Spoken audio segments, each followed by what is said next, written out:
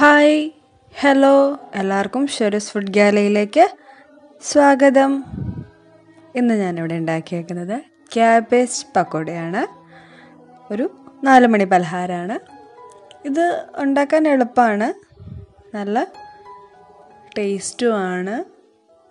കുട്ടികളെ കൊണ്ട് ക്യാബേജ് കഴിപ്പിക്കണം എന്നൊക്കെ ഉണ്ടെങ്കിൽ നമുക്ക് ഇതുപോലെ ഒന്ന് ട്രൈ ചെയ്യാം. അതെ അതെ ഇതുപോലെ നമുക്ക് മുറിച്ച് ഞാൻ കാണിക്കാം. കണ്ടില്ലേ? കണ്ടാൽ ഉള്ളിവട പോലെയൊക്കെ തോന്നും. പക്ഷെ ഇത് ക്യാബേജാണ്. ഓക്കെ ഇത് നമുക്ക് എങ്ങനെയാണ് ഉണ്ടാക്കണതെന്ന് നോക്കാം. അപ്പം അതിന് വേണ്ട സാധനങ്ങൾ ക്യാബേജ് ഒന്നര കപ്പ്. ഇതുപോലെ നീളത്തിൽ ചെറുതായിട്ട് അരിഞ്ഞത്. കടലമാവ് ഒന്നേകാൽ കപ്പ്. ഉണ്ടത്. പിന്നെ പച്ചമുളക്. പച്ചമുളക് ഒരെണ്ണം ചെറുതായി ഇതുപോലെ വട്ടത്തിൽ അരിഞ്ഞത്. അരിപ്പൊടി മൂന്നര ടേബിൾ സ്പൂൺ ഉപ്പ് ആവശ്യത്തിന് മുള പിന്നെ മുളക് പൊടി ഒന്നേകാൽ ടീസ്പൂൺ ജി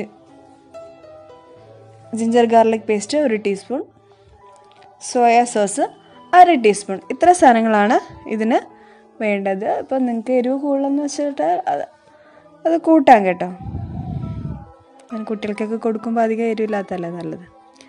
ഞാൻ ആദ്യം ഒരു വലിയ ബൗളിൽ ക്യാബേജ് ഫുള്ളി ഇടുകയാണ്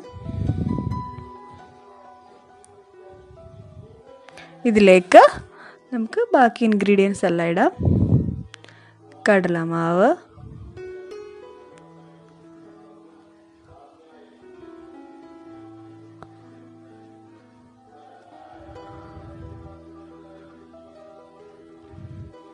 പച്ചമുളക്.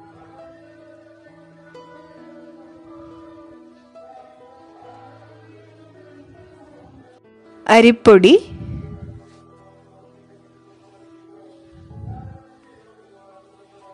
മുളക് പൊടി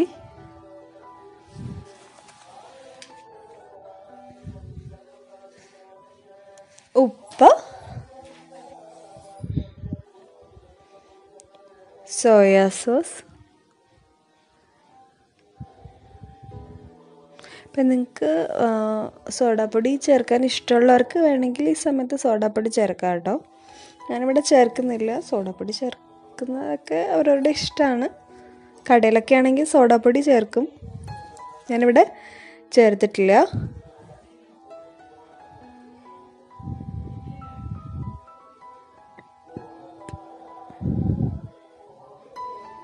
ഇതിലേക്ക് നമുക്ക് വെള്ളം ഒഴിക്കാം.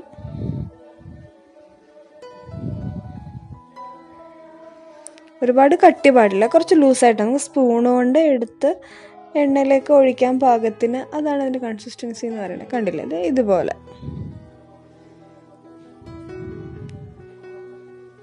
ഒരുപാട് കട്ടിയുടെ ആവശ്യമില്ല.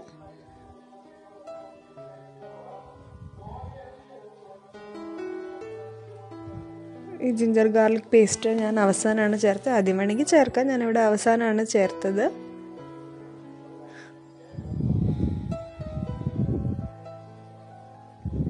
ഇതും തണുപ്പുള്ള സമയത്തൊക്കെ നല്ല ചൂട് പക്കോട കഴിക്കാൻ നല്ല സുഖമാണ് അല്ലേ? അപ്പം നിങ്ങൾ ഇതുപോലെ ഒന്ന് ട്രൈ ചെയ്ത് നോക്കാൻ മതി. അപ്പോൾ പാനിൽ എണ്ണ ചൂടായിട്ടുണ്ട്. ഇതിലേക്ക് നമുക്ക് നമ്മുടെ മിക്സ് ഒഴിച്ചു കൊടുക്കാം. ഇതുപോലൊരു സ്പൂണിലെടുത്തിട്ട് കുറച്ചിങ്ങനെ ഒഴിച്ചാൽ മതി. അല്പമൊക്കെ നിങ്ങളുടെ ആവശ്യത്തിന് കുറച്ച് ഒഴിച്ചാൽ മതി.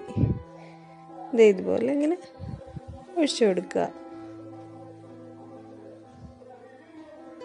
ക്യാബേജ് അരിയണൊരു പാടേ ഉള്ളൂ. അല്ലാണ്ട് വലിയ പാടൊന്നുമില്ല. പിന്നെ തിളച്ച് വെണ്ണ എണ്ണയിലേക്ക് ഇടുക അത്രയേ ഉള്ളൂ. ഒരു പെട്ടെന്നൊരു നമുക്കൊരു സ്നാക്ക് ഉണ്ടാക്കണം തോന്നുകയാണെങ്കിൽ ഇങ്ങനെ ഉണ്ടാക്കാം. ഒരുപാട് എരിവൊന്നുമില്ലെങ്കിൽ കുട്ടികൾക്കും ഇഷ്ടാവും.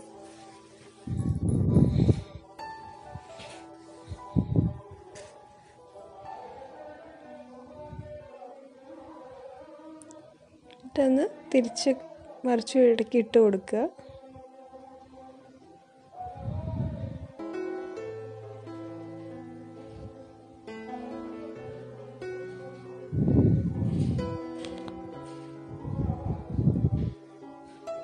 എന്നിട്ട് അതിന്റെ നല്ല ഗോൾഡൻ ബ്രൗൺ കളറാകുമ്പോൾ നമുക്കത് വറുത്ത് കോരി എടുക്കാം. എളുപ്പമല്ലേ? ഇത്രയേ ഉള്ളൂ ഇതിന്റെ പ്രോസസ്സ് എന്ന് പറയുന്നത് ഇത്രയേ ഉള്ളൂ. നമ്മളിത് അരിഞ്ഞ് ഇതെല്ലാം മിക്സ് ചെയ്യുക എണ്ണയിലേക്ക് ഇടുക. അത്രയേ ഉള്ളൂ. ദേ ഇതുപോലെ ടിഷ്യൂ പേപ്പർ വെച്ചിട്ട് അതിൽ ഒരു പ്ലേറ്റിലെല്ലാം വെച്ചിട്ട് ഇടുക. നമ്മുടെ കാബേജ് പക്കോട റെഡിയാണ് നിങ്ങളെല്ലാവരും ട്രൈ ചെയ്യുക. നിങ്ങളുടെ അഭിപ്രായം അറിയിക്കുക. നിങ്ങളുടെ ഫാമിലിക്ക് ഫ്രണ്ട്സിനൊക്കെ ഷെയർ ചെയ്യുക. ഓക്കെ അപ്പം നാളെ ഒരു മണിക്ക് നമുക്ക് വീണ്ടും കാണാം.